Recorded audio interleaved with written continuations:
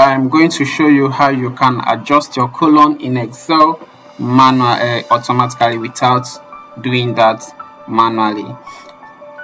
So here is my Excel and uh, I'm using Office 365 so in this cell I am going to enter the length of text I want and if you see this text exceeds the length of my column. And for me to arrange this properly I will need to adjust these columns to fit my text. So uh, this is what you will do. You don't need to do this anymore. Stop stretching your columns in excel. What you will do right click on the sheet go to view code.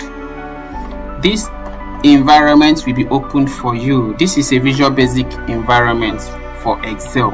So what I will do is I will change this general to worksheet. Inside this place, I am going to write a code to add that functionality. Whenever I keep typing, it will keep adjusting my column to fit in my text. So the first one I will write is columns dot entire column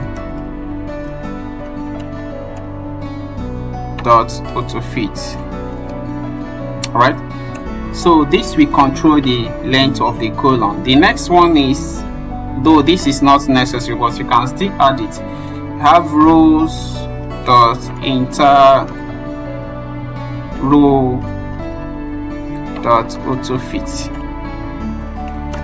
All right so after you've done this close this visual basic environment and go back to your excel now i am going to click on this so you can see it has adjusted itself automatically.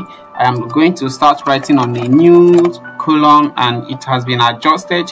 I am going also to write on a new column and it has been adjusted.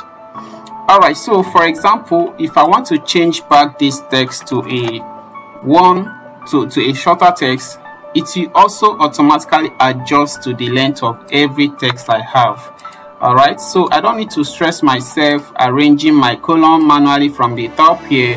So with this code you can do everything you want without delaying your job.